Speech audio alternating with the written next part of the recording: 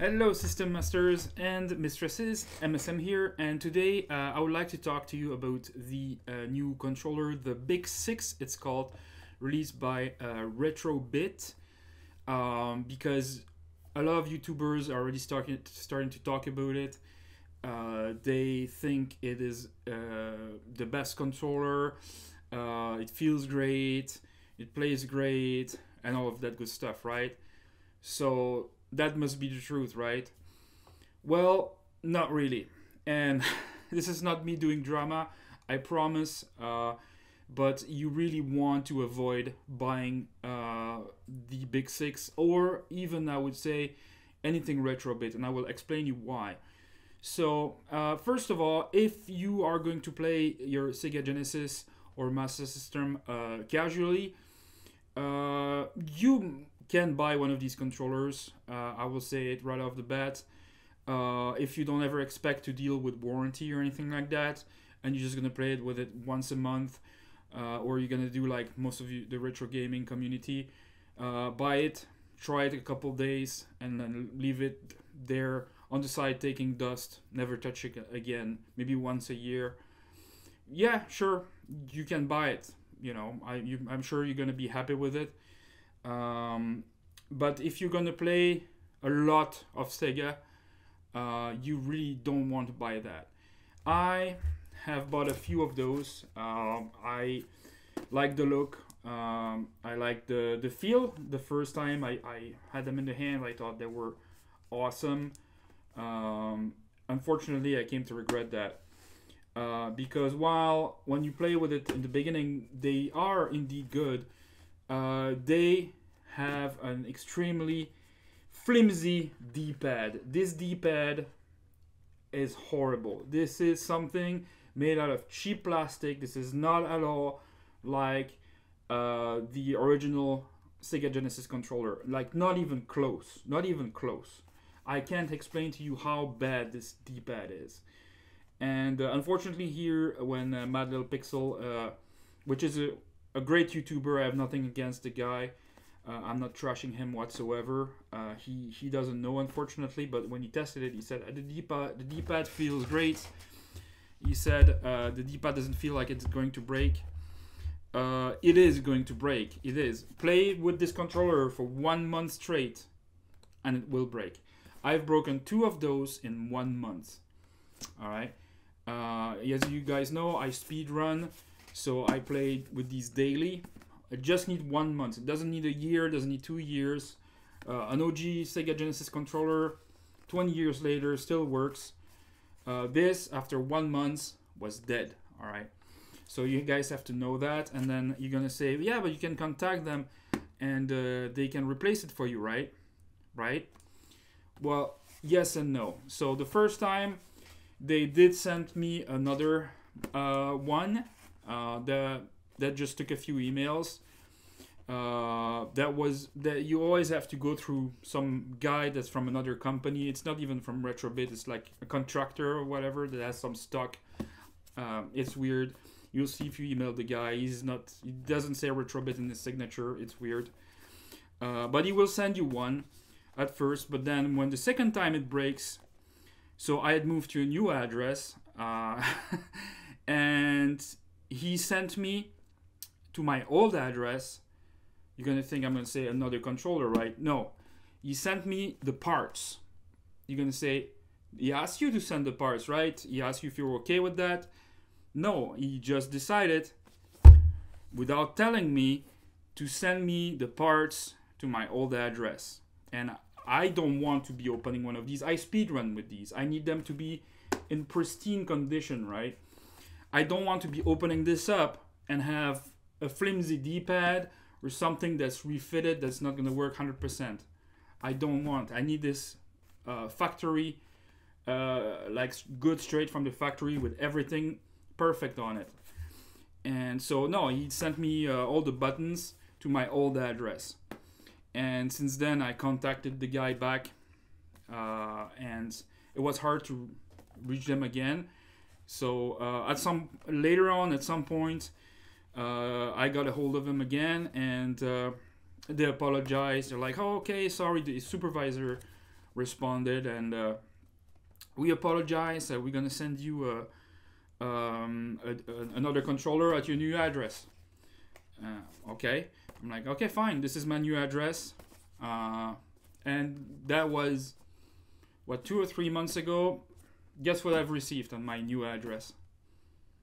Absolutely nothing. I have not received anything. Uh, now I'm sure if they watch this video, they're gonna be like, "Oh, we're so sorry. We're gonna send you one." But like, I don't want to be like spending my entire day talking to uh, customer service like that. I don't want to sound like a Karen or anything, but like, I shouldn't be sending 10 emails to get this replaced because there has been quite a few. So, and this shouldn't be breaking all the time. And also, one other thing is I've, I've raised that with them. I've asked them multiple times on Twitter and by email is the new Big Six going to have the same D pad, yes or no? They have never been able to tell me. And as I can see on this picture right here, this looks exactly like this D-pad. This is the exact same D-pad. This is not the original three button controller D-pad whatsoever. If you want one, uh, the, the one that's sold by Nintendo for Nintendo Switch is uh, a real, um, it feels like a, the original OG D-pad. Uh, so that one looks like it's really made by Sega, not contracted by a third company like Retrobit that is using Sega's logo here. Uh, and it's a shame that they're allowed to do that. And this is why these controllers are $20, I believe, or $15 on Black Friday sale. You're, you're telling yourself, yeah, it's so cheap, uh, it's so amazing, I can play with this on my PC, which is the only way to play with uh, this type of controller on your PC, but unfortunately, it is to avoid. I, I this one is sealed in the box, as you can see. I don't intend to ever open this. Uh, what I use now to speedrun is uh, the 8BitDo controller. This one, this I've been using it for a long, long time now. This has never broken. The D-pad still feels like it is. Uh, I, it's untouched. It's like it's brand new. But I've been using this every single day. The buttons are amazing. It is compatible with everything, even the Xbox Series X if you want. Uh, all the sticks are. The, the quality of this is amazing. But this is not $20 like this one. This one is around $60, I believe. Uh, I'll put the link in the description. It's not sponsored. Uh, but uh, if you're interested uh, by, by, getting a good controller, I'll put the link for this in the description down below. I will also put a link of uh, the run I was doing. So I was speed running. I was on world record pace for outrun with uh, one of these. And so as you will see in my highlight on Twitch, my highlight video, it broke live on a world record pace. So this this is not something that's supposed to happen. You know the but I, I, guess you get what you pay for. This is twenty dollars, but uh, you know, be careful because these you know YouTubers that don't play uh, games a lot, you know, they talk. I know uh, respect to Mad Little Pixel. You know, he switches from one console to another, and that's awesome. But he probably doesn't play Genesis all the time with the, these types of controller because it would have already broken for him. You know, so uh, be careful. Uh, don't listen to anything, everything you're hearing on YouTube. Uh, listen to somebody who's used them for uh, at least a month, like I have. And uh, this is not just me, by the way. I talked to some other runners uh, that have had one of these break. So um, yeah, I'm, I'm not alone in this. I'm not making this up. This is a common problem that these D-pad will break, and it's a hassle to get them replaced too. So at some point when you know the first time they'll send you one, and the second time they will start, you know, getting aggravated and they will take longer and be more difficult to replace it for you. So uh, yeah, that's a problem. Retrobit, retrobit is to avoid. Uh, but if you get uh, like this, a real Xbox Series X controller, you will not have an issue. Or like I said, the 8BitDo, fantastic controller. Uh, really not nothing to say against that. And this one is even better than their normal one because the Xbox one has the A on the, the bottom instead of the A on the side, like for their other controller. So if you want the A at the bottom, you just get the Xbox version. This is why I have this one. And uh, yeah, this is amazing. But uh, no, this is junk. All right, so just needed you guys to know. Uh, don't buy this for anybody's Christmas. that that's not a good gift. All right, with the big six here, you don't want to buy that uh, unless they're gonna play once with it and then leave it there. You know. Um, yeah, even if you're cheap, uh, there's better options than than that. If you're on, if you want to buy a controller on the cheap, uh, you can buy there. There's cheaper version of these where you don't have the handles, and uh, they're also wired like this one. I prefer wired because you have less latency, but uh, there's cheaper versions of 8BitDos if you don't have a lot of money, and uh, it's really night and day. All right, so I just wanted to let you guys know. Uh, a, quick word of warning because uh, I'm seeing this and I'm like, uh, you have no idea, man, when you talk about the D-pad.